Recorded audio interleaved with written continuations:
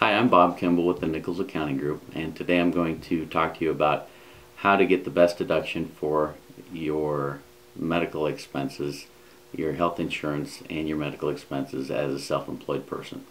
So if you have a Schedule C or a Schedule F and you're married, um, you've got some great advantages because you can employ your spouse and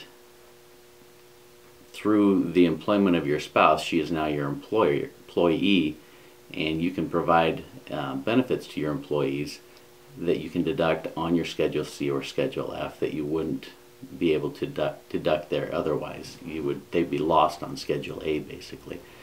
So um, you can you can provide the health insurance for your employee, your wife, um, pay her a wage that makes sense, and provide the health insurance um, because I'm sure she's working in the business anyway. And and then if you want to go further than that, you can provide a medical reimbursement plan through your self-employed business. And by doing this, um, you get to deduct your medical expenses. Now, a medical reimbursement plan has to be provided for all employees. So if you other have other employees, that's um, something you'll have to provide for them. But the health insurance stands on its own, and you can provide that for your spouse and deduct that through your business and save the Social Security tax.